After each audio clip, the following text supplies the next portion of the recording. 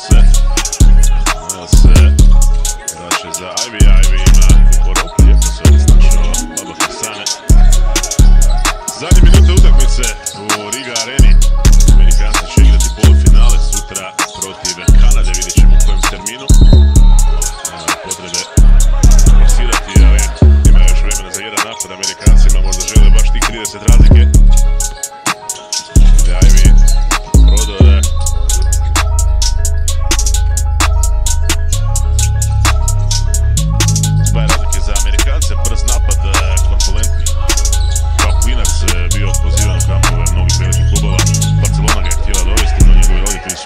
tell you.